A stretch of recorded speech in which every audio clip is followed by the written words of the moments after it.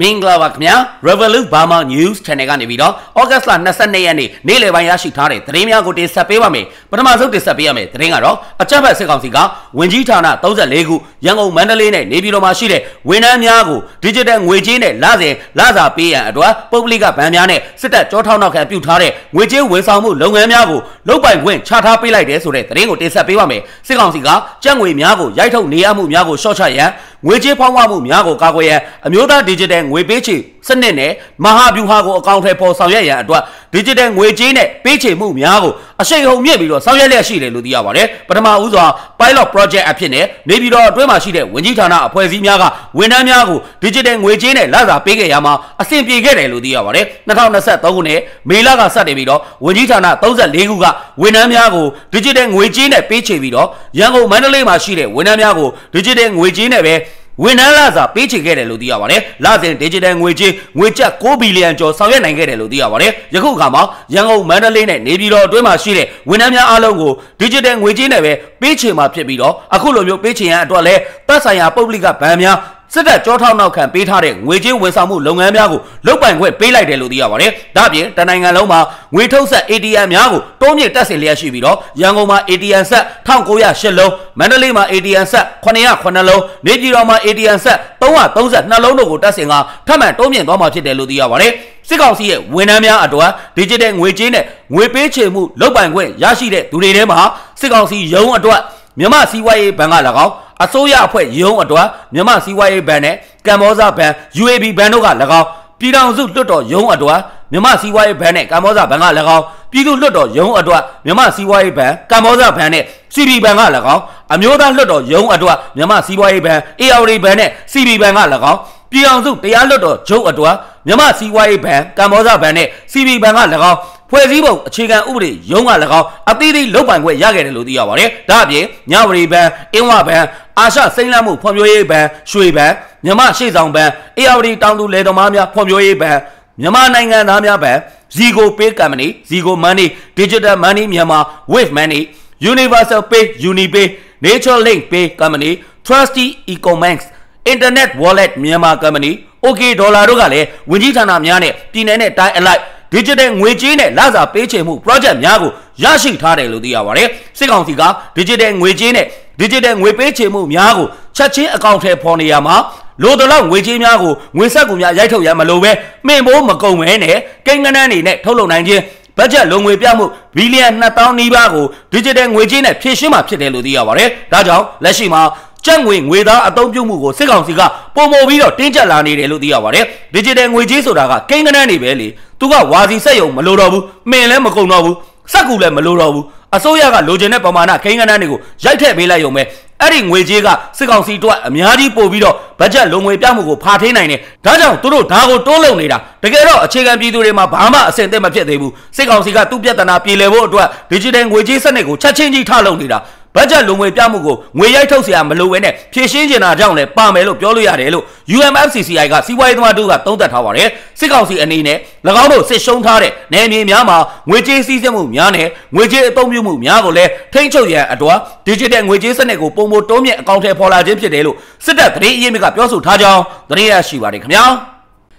နောက်ထပ်တင်ဆက်ပေးရမယ့်သတင်းကတော့ရခိုင်ပြည်နယ်အမ်းမြို့နယ်နဲ့မောင်တော်မြို့မှာတာဝန်ကျနေတဲ့စစ်ကောင်စီတပ်ဖွဲ့ဝင်များဟာဇွန်လဇွန်လလနဲ့အခုကာလတွေအတွက်လစာမရရှိကြဘူးဆိုတဲ့သတင်းကိုတင်ဆက်ပေးပါမယ်စစ်ကောင်စီတပ်ဖွဲ့ဝင်များဟာဇွန်လနဲ့ဇွန်လလအတွက်တတ်မှတ်လစာများကိုမရရှိသေးပဲလမ်းကြောင်းတွေအဆင်မပြေတဲ့အတွက်ငွေမရောက်တာဖြစ်တယ်လို့အကြောင်းပြချက်ပေးနေကြောင်းအမ်းမြို့နယ်ကစစ်တပ်သတင်းအရင်းမြစ်ကပြောဆိုထားပါတယ်လစာမရတာနှစ်လရှိပြီငွေပို့ဖို့လမ်းကြောင်းတွေအစင်မပြေတာကြောင့်လို့တော့သိရတယ်တခြားတော့လည်းမသိရဘူးရတော့ရမယ်လို့တော့ပြောတယ် အဲ့ဒီလိုတော့ပြောတာပဲလို့အမ်းမြို့နယ်ကစစ်တပ်သတင်းအရင်းမြစ်ကပြောဆိုထားပါတယ်လစာမရကြတဲ့အတွက်စစ်ကောင်စီတပ်ဖွဲ့ဝင်များဟာအမ်းမြို့ဒေသခံပြည်သူများဟာစစ်ဆေးရေးတွေတင်းကျပ်မှုတွေပြုလုပ်ကငွေတောင်းခံနေတယ်လို့အ န်ဒေတာကအမျိုးသမီးတို့ကပြောပြထားပါတယ်အရင်ကလည်းတင်းတင်းကြပ်ကြပ်လှုပ်ဆောင်တာတွေလုပ်နေတာပဲအခုနောက်ပိုင်းကတော့ပို့ပြီးတော့တောင်းလာတယ်ဒီလအတွင်းမှာမြို့ပေါ်အပြင်နယ်ဘက်ကလူတွေကိုပါဖမ်းဆီးတာတွေကိုပို့ပြီးတော့လှုပ်လာတယ်အဓိကကုန်စည်တွေတည်ယူတဲ့သူတွေဖမ်းခံကြရတာများတယ်အဖမ်းခံရရင်ကုန်တွေကပြန်မရကြဘူးလူဆိုရင်လည်းငွေပေးမှပြန်လွှတ်တာများတယ်လို့ပြောဆိုခဲ့ပါတယ်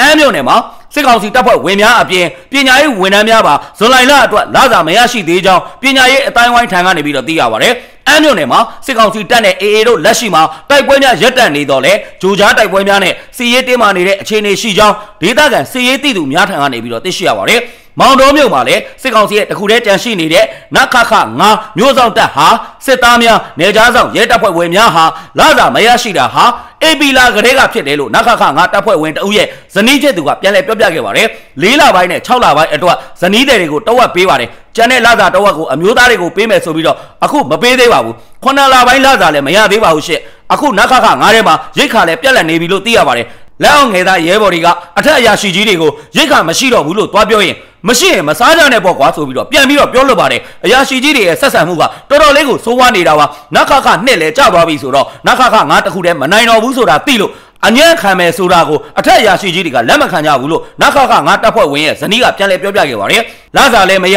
ထမင်းလည်းဝအောင်မစားရတဲ့အပြင်လက်နဲ့အင်အားလူအင်အားလည်းမမျှတခြင်းကြောင့်မကြခင်မှာနခခငါလည်းကြာဆုံးတော့မှာကိုသိနေတဲ့နေသားဆောင်ရဲတပ်ဖွဲ့ဝင်များကလက်နက်ချအညံ့ခံလို့တော့လေစစ်တပ်အရာရှိကြီးများကလက်နက်ချအညံ့မခံကြဘူးလို့စုံစမ်းသိရှိရပါတယ်။ အာနာသိန်းစစ်ကောင်စီဟာတခုတည်းကြန့်ရှိနေတဲ့နခခငါမျိုးစောက်တက်နဲ့၎င်းရဲ့လက်အောက်ခံစခန်းငယ်များအပါအဝင်လက်သက်မွေးထားတဲ့လက်နက်ကင်များနဲ့မောင်တော်မျိုးတဲ့ရက်ကွက်အလိုက်အစစ်စစ်ပြင်ဆင်ကအေအေရဲ့ထိုးစစ်ကိုခုခံကာကွယ်နေတယ်လို့သိရပါတယ်စစ်ကောင်စီရဲ့ရက်ကွက်အလိုက်အစစ်စစ်ခုခံကာကွယ်ထားတဲ့ဂျားကမောင်တော်တော့ဝနီးရွာကိုအေကထိုးပေါက်ဝင်ရောက်ပြီးတော့စစ်ကောင်စီပိတ်လောင်ထားတဲ့ဒေသခံပြည်သူများကိုပါကဲထုတ်ပေးနေကလက်ရှိမှာပြည်သူ2000ကျော်ကိုကဲထုတ်ထားပြီးပြီလို့အေကထုတ်ပြန်ထားကြောင်းသတင်းရရှိပါတယ်ခင်ဗျာ ဆက်လက်ပြီးတော့တင်ဆက်ပေးရမယ့်သတင်းကတော့မကွေးတိုင်းတရက်မြို့နယ်မှာရှိတဲ့တရက်အကျဉ်းထောင်မှာအကျဉ်းဦးစီးဌာနကလက်ထောက်ဦးစီးမှုဘိုးကျော်စီရဆိုးကအကျဉ်းသားတက်များကိုတိုက်ပိတ်ပြီးတော့တအုပ်ကိုငွေကျပ်9သိန်းချင်းချောက်တောင်းခံနေပြီးတော့ထောင်ထဲမှာမူရစေဝါများကိုရောင်းချနေတယ်ဆိုတဲ့သတင်းကိုတင်ဆက်ပေးပါမယ်တရက်အကျဉ်းထောင်မှာတာဝန်ထမ်းဆောင်ရရှိတဲ့လက်ထောက်ဦးစီးမှုဘိုးကျော်စီရဆိုးက ဓမြမှုနဲ့ထောင်ကျလာတဲ့အကျဉ်းသားများကိုလက်သက်မွေးထားပြီးတော့အချုပ်တဲ့အကြတဲ့အကျဉ်းသားများထံကနေပြီးတော့ချင်းချောင်းငွေကြေးတောင်းခံမှုများကိုပြုလုပ်လျက်ရှိတယ်လို့သိရပါတယ်။အကျဉ်းထောင်ကိုအသက်ရောက်လာတဲ့အကျဉ်းသားတိုင်းကိုပြီးတန်တိုက်ပိတ်ထားပြီးတော့အကျဉ်းသားတအုပ်ကိုငွေကျပ်3သိန်းကနေ5သိန်းအထိငွေညစ်တောင်းယူလျက်ရှိတယ်လို့သိရပါတယ်။၎င်းတို့တောင်းတဲ့ငွေကြေးမပေးနိုင်သူများကိုပုံစံမောင်းခြင်းချင်းချောက်ရိုက်နှက်ခြင်းနဲ့မတန်တဆလောက်ကျမ်းများကိုခိုင်းစေခြင်းတို့ကိုပြုလုပ်လျက်ရှိတယ်လို့သိရပါတယ်။ အကျဉ်းသားတဲ့တွေကိုကိုရောစိတ်ရောစင်းရဲအောင်လို့ညှိမနှိပ်ဆက်ပြီးတော့မခံနိုင်တော့တဲ့အဆုံးမှာမပြေလည်တဲ့မိသားစုတွေကပေါင်နှံရောင်းချပြီးတော့ရလာတဲ့ငွေကိုပေးမှပိတ်ထားတဲ့တိုက်ကနေအိတ်ဆောင်များကိုပြောင်းရွှေ့တာတွေကိုလုပ်ပေးတယ်မပေးနိုင်တဲ့သူတွေကိုတော့နှီးမျိုးစုံနဲ့နှိပ်စက်နေတာလို့အချင်းထောင်နဲ့နှီးဆက်သူတို့ကပြောဆိုထားပါတယ်ဒါအပြင်ဘိုးကျော်ဇေယဆိုးဟာထောင်ကျတဲ့အချင်းသားများကိုထိုးချိတ်ရိုက်နှိုက်ပြီးတော့အချင်းထောင်တွေကိုမူရစေဝါများကိုတွင်းကရောင်းချနေပြီးစီးပွားရှာမှုများကိုလည်းလှုပ်ဆောင်နေကြောင်းသတင်းရရှိပါတယ်ခင်ဗျာ နောက်ထပ်တင်ဆက်ပေးရမယ့်သတင်းကတော့မလေးရှားစင်ကာပူနဲ့ထိုင်းနိုင်ငံအပါအဝင်ပြည်ပနိုင်ငံများကိုအလဲပတ်နိုင်ငံကူးလက်မှတ် PV နဲ့တွားရောက်ပြီးတော့အလုတ်လုတ်ကင်မယ်လို့မတင်ကားတဲ့သူမှန်သမျှကိုလေယာဉ်ပေါ်ကိုတက်ခွင့်မပေးဘဲနဲ့လေစိတ်ကနေပြက်လှည့်ခိုင်းနေမှုများများပြားလာတဲ့ဆိုတဲ့သတင်းကိုတင်ဆက်ပေးပါမယ်စင်ကာပူကို PV passport နဲ့တွားဖို့မိန်းကလေးတွေပြန်အလွတ်ခံရတာတော်တော်ကိုများတယ်မလေးရှားကိုတွားမဲ့လူငယ်တွေလည်းလေစိတ်ကနေပြန်လှည့်ရတာများတယ်တနေ့ကိုအနည်းဆုံး10ကနန်းနဲ့အထက်ပဲလေစိတ်ကနေပြန်လှည့်နေရတာထိုင်းကတော့တွားခွင့်ပေးပေမဲ့လူရွေးတယ်အညာဘက်ကနေပြီးတော့ PV နဲ့ထိုင်းဘက်ကိုသွားမဲ့လူငယ်တွေလည်းပြန်အလွတ်ခံရတာတွေရှိတယ်ကျွန်တော်တို့ကိုအကူအညီတောင်းတာတွေများနေပြီမဲ့ဘာမှလုပ်ပေးလို့မရဘူးလေစိတ်ကဌာနဘောင်းစုံပူပေါင်းအဖွဲ့တွေကိုဆုံးဖြတ်ပိုင်ခွင့်အပြည့်ပေးထားပုံပဲလို့ရန်ကုန်ကနေမလေးရှားစင်ကာပူကိုအလုပ်ကိုင်များချိတ်ဆက်ရှာဖွေပေးနေတဲ့ပြည်ပအလုပ်ကိုင်အေဂျင်စီကတာဝန်ရှိသူတို့ကပြောပြထားပါတယ်။ဒါအပြင်အသက်23နှစ်ကနေပြီးတော့32နှစ်အတွင်းအမျိုးသားလူငယ်များကိုလည်း PV နဲ့ပြည်ပနိုင်ငံကိုထွက်ခွာမည်ဆိုပါကဘာသွားလို့မှလဲပြန်လာမှလားဘလောက်နေမှလဲဆိုတဲ့မိကုများကိုမေးမြန်းခြင်းလေရင်လက်မှတ်အပြန်ရှိုးမန်နီ